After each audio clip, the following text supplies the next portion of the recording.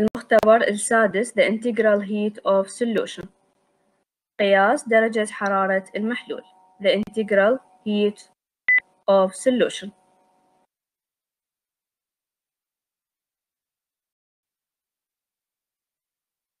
الهدف عندنا من هذه التجربة هو تحديد determine the average heat of solution تحديد معدل حرارة النظام أو المحلول.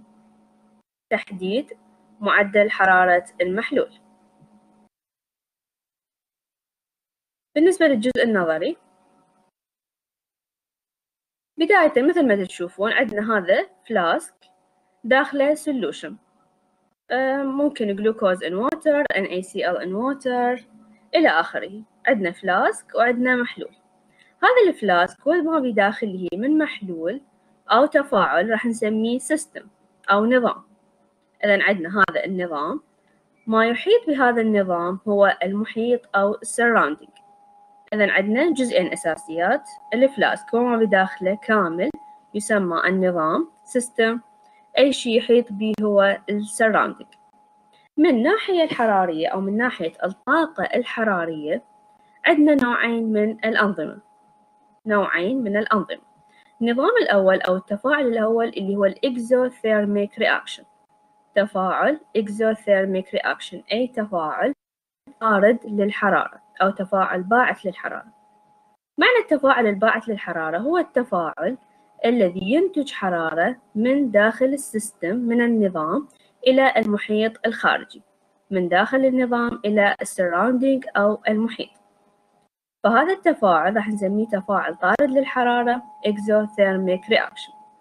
على العكس التفاعل الماص للحرارة اللي هو التفاعل اللي يحتاج طاقة حرارية حتى يتم. مين راح ياخذ هاي الطاقة الحرارية؟ محيط. إذا اتجاه نقل الطاقة الحرارية راح يكون from the surrounding من المحيط إلى داخل ال system أو داخل النظام. إذا عندنا نوعين من الأنظمة عندنا ال exothermic reaction reaction that energy. هو تفاعل يطلق الحرارة from the system من النظام in the form of heat. شنو هاي الطاقة؟ على شكل طاقة حرارية على العكس ال endothermic reaction التفاعل الماص للحرارة a reaction that the system absorb energy. راح يمتص طاقة from its surrounding من المحيط الخارجي in the form of heat. وأيضا شكل الطاقة هي على شكل طاقة حرارية كمية هذه الطاقة الحرارية الممتصة أو المنبعثة الممتصة في حالة ال endothermic reaction والمنبعثة في حالة ال exothermic reaction راح نقيسها من خلال ما يسمى بالإنثالبي. إذا معنى ال enthalpy of solution اختصارا delta H هو the heat absorbed كمية الحرارة الممتصة في حالة ال endothermic reaction or release أو الحرارة المطلقة في حالة ال exothermic reaction when the solute عندما المذاب dissolve in definite amount of solvent. عندما تذوب كمية معينة من ال solute بال solvent فمقياس الحرارة الممتصة أو المنبعثة هي ال enthalpy of the solution delta H. عندما يكون التفاعل طارد للحرارة أو باعث للحرارة تكون إشارة الانثالبي سالبة وتكون إشارته موجبة عندما يمتص النظام الحراري. هذه مقدمة عن آه، تجربتنا لهذا اليوم. زين الطاقة الحرارية سواء كانت المنبعثة أو الممتصة تعتمد على عاملين أساسيين. العامل الأول هو nature of the solute. طبيعة المادة الذائبة. هل هي ملح؟ هل هي acid؟ هل هي base هل هي polar؟ non polar إلى آخره. هاي كلها طبيعة المادة أو طبيعة السوليوت راح يأثر لنا على الهيت of solution. النقطة الثانية هي concentration of the final solution. هل هذا المحلول اللي أنا حضرته هو محلول concentrated أو diluted أو إيش كت التركيز مالته جدا راح يأثر على كمية الحرارة المطلقة أو الممتصة من النظام. إذا the heat of solution الحرارة تعتمد depend on على شغلتين the nature of the solute number two اللي هي concentration of the final solution.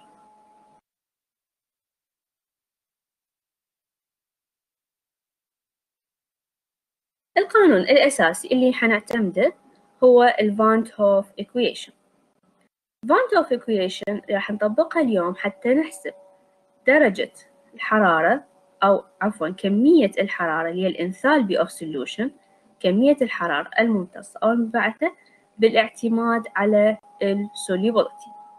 إذا حيكون تركيزنا على دراسة العلاقة بين ال solubility و delta H اللي هي ال enthalpy of solution. خلينا نجي نفسر هذا القانون. لن ال solubility S هي ال solubility راح ناخذ لها اللن بشكل بسيط من الحاسب. دلتا H هي ال average heat of solution كمية الحرارة. كمية الحرارة للنظام. R هو الغاز constant الثابت العام للغازات. R هو الثابت العام للغازات. مقداره ثابت حفظوه. 8.3145 8.3145 هذا ال gas constant الثابت العام للغاز. الوحدة مالته جول اللي هي مقياس للطاقة الحرارية. مول اللي هو عدد المولات في كلفن. كلفن اللي هي مقياس لدرجة الحرارة. بس بمكان ما نقول سيليسيوس حنستخدم هذا القانون الكلفن. بعد ال R يجينا T T اللي هي ال temperature درجة الحرارة بالكلفن. اليوم راح نثبت إنه درجة الحرارة بالكلفن وليس بالسيليسيوس. آخر شي زائد C C اللي هي ال concentration إذا القانون اللي حنعتمده اليوم هو هذا القانون. قانون يربط بين درجة بين مقياس الحرارة الانثالبي of solution والsolubility. قانون يساوي لن solubility يساوي دلتا H قياس الحرارة R ثابت العام للغازات T temperature زائد C اللي هي ال concentration.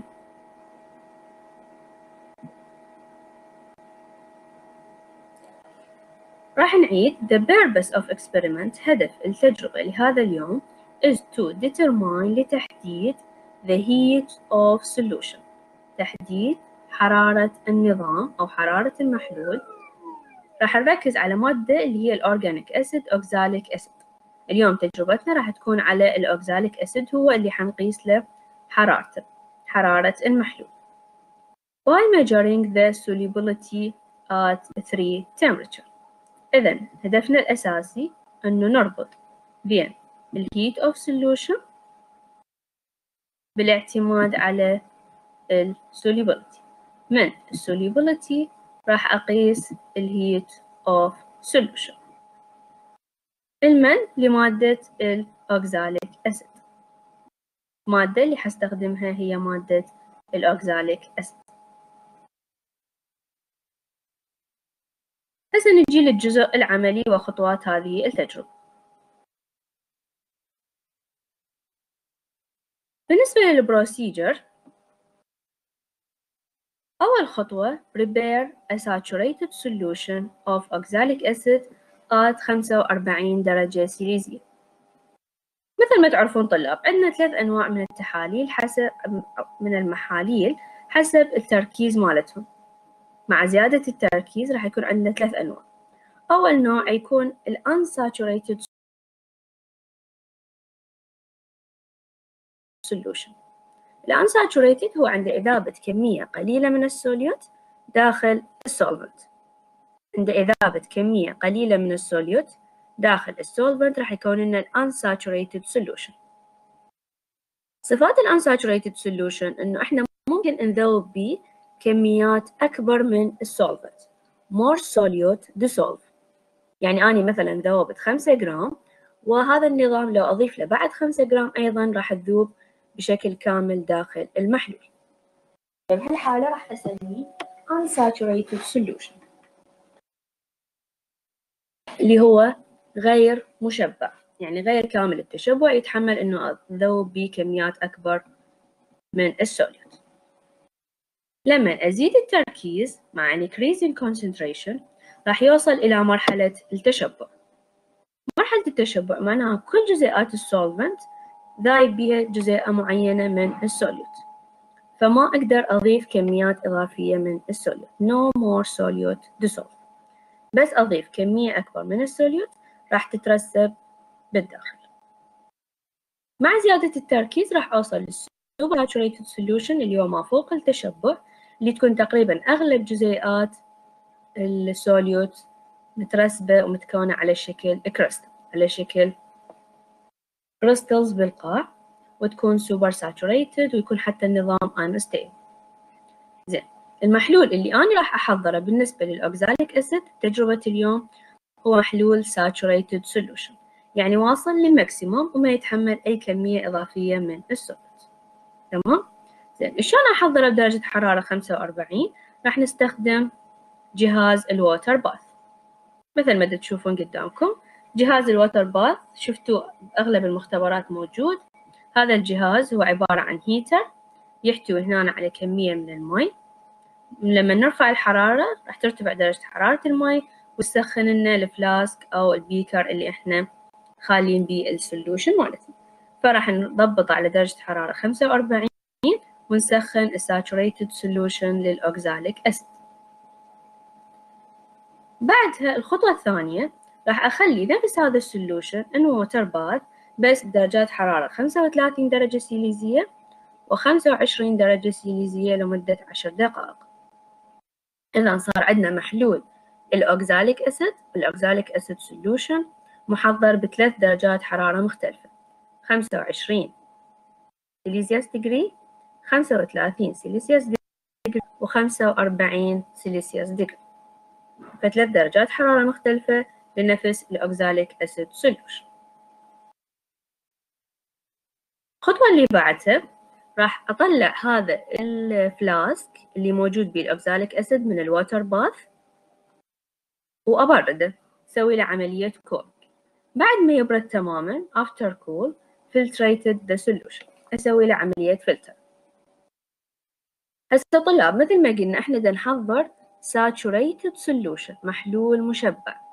فبما أنه محلول مشبع لما يبرد وتنزل درجة الحرارة أي كمية إضافية من ال solute راح تترسب بالقاع. تمام؟ مثل ما تشوفون هنا عندنا محلول saturated هو واصل لل maximum. بدرجة حرارة خلينا نقول خمسة وأربعين. فلما أبرده جزيئات بعضها راح تترسب بالداخل. فشلون أتخلص من هاي الجزيئات المترسبة؟ من ال precipitate عن طريق عملية ال filtration. filtration عملية جدا بسيطة. راح أخلي flask funnel قمع. داخل القمع أخلي ال filter paper ورقة الترشيح وأسوي عملية filtration لل solution حتى أتخلص من هذه ال precipitate اللي موجودة من ال oxalic acid تمام؟ فأسوي عملية filtration لثلاث محاليل لأنه كل محلول حضرناه بدرجة حرارة مختلفة. بعد ما سويت له filtration تخلصت من جميع الشوائب تخلصت من ال oxalic acid الغير ذائب راح آخذ خمسة ml من محلول ال oxalic acid فقط خمسة ml من ال oxalic acid هذا ال volume لل oxalic acid راح أسوي له عملية titration تسحيح مع to normality من ال NaOH إذا هذا يعتبر التركيز أو ال normality لل NaOH وهذا يعتبر ال volume لل oxalic acid. مثل ما تشوفون بالنسبة لل set up لل titration راح نحتاج burette سحاحة. هاي ال burette دائما تحتوي على ال titrant ال titrant هو المادة معلومة التركيز. إذا ال titrant هو يمثل لنا ال NaOH لأن ال NaOH تركيزه معلوم. فدائما بال burette أخلي ال titrant اللي هي مادة معلومة التركيز. بال flask لا راح أخلي ال analyte ال analyte اللي هي مادة مجهولة التركيز واللي بتجربتنا تمثل لنا ال oxalic acid oxalic acid إحنا تركيزه ما نعرفه فهو مجهول التركيز وراح نخليه بال flask ونخلي وياه ال indicator الكاشف. الكاشف بتجربة اليوم هو ال phenolphthalein. كاشف هو ال phenolphthalein. بعد ما أكمل عملية التسحيح وأوصل لل end point راح أنقص ال V final من ال V initial راح أطلع ال volume لل NaOH إذا صار عندي شنو المعلوم؟ تركيز ال NaOH volume ال NaOH اللي أخذته بعد عملية التسحيح من ال V final ناقص ال V initial و volume ال oxalic acid اللي هو خمسة ml اللي أنا خليته بال flask. شنو ظل عندي مجهول؟ هو تركيز ال oxalic acid. تركيز ال oxalic acid. تمام؟ إذا الخطوة هذه آخذ خمسة ml من oxalic acid أسوي العملية titration ويا ال NaOH هدف من عدها أحدد تركيز ال oxalic acid المجهول. راح أجي من خلال هاي المعادلة. هذا خلينا نعتبره الحجم والتركيز لل NaOH وهذا الحجم والتركيز لل oxalic acid. ال NaOH عندنا التركيز معلوم. ال V معلوم من ال titration ال oxalic acid ال V هي الخمسة مل معلومة. من عندنا المجهول فقط تركيز الأوكزاليك أسيد. فأطلع التركيز هذا راح يمثل لي السوليبيليتي للأوكزاليك أسيد فصار عندنا solubility ب each temperature. كل درجة حرارة راح تنطيني solubility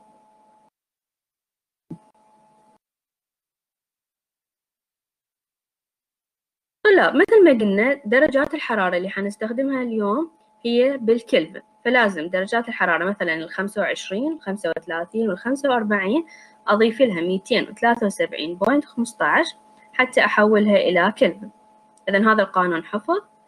T بالكلفن يساوي T بال Celsius زائد ميتين وثلاثة وسبعين point خمسطعش هسه راح نجي للرسم بالنسبة لل Van't Hoff equation اللي راح نسوي؟ إحنا solubility حددنا قلنا ثلاثة solubility من جبناها؟ جبناها من تركيز اللي طلعناه للأوكزاليك أسيد بالحاسبة بشكل بسيط أحولها وأطلع اللين مالتها بالنسبة للواحد على التي هنا لا محتاجة خطوتين. الخطوة الأولى أحولها من السيليسيوس إلى الكلفن حسب القانون اللي أخذناه.